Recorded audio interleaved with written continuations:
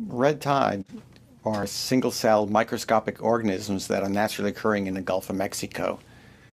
Scientists know these organisms as Karenia brevis or K. brevis. When you go to the beach, you can see them sometimes as green, red, or even brown patches in the water, but sometimes you don't even know they're there, they're clear. When these organisms occur in high concentrations, that's when we call them blooms.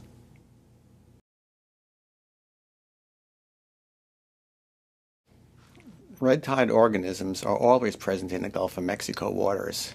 Sometimes the winds, the currents, and nutrients in the water contribute to these organisms to be present in higher concentrations. When that happens, that's when we call them blooms or harmful algal blooms. And sometimes the wind and waves can cause these blooms to make it on shore. That's when people who live along the shore or visitors can actually see the red tide. And when that happens, they usually have questions about what it does to them.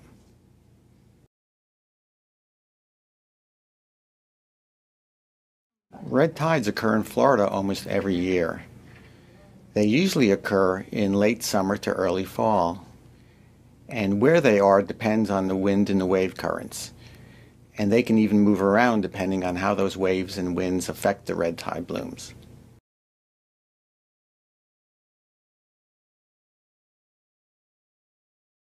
Red tides can occur almost every year in the state of Florida. They generally last for days or weeks, but sometimes they can even last for months. But they usually change where they are almost every day. So if one beach has a red tide, you can look for another beach that sometimes is fairly close to that which doesn't have a red tide.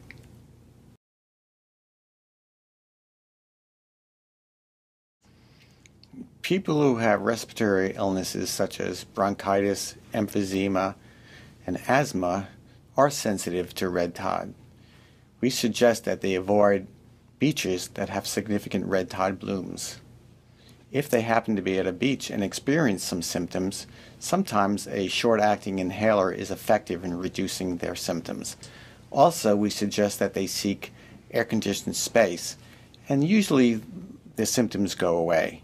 If their symptoms don't go away or they worsen, they should seek medical care.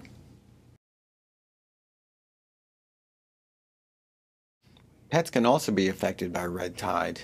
When there's a red tide at the beach, we suggest you keep your pets away from dead fish and sea foam.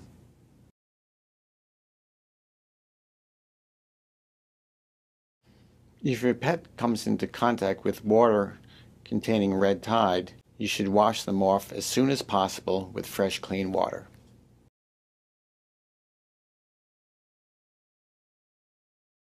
Florida residents and visitors can report illnesses they suspect are from a red tide exposure to the Florida Poison Information Center anytime at 1 800 222 1222.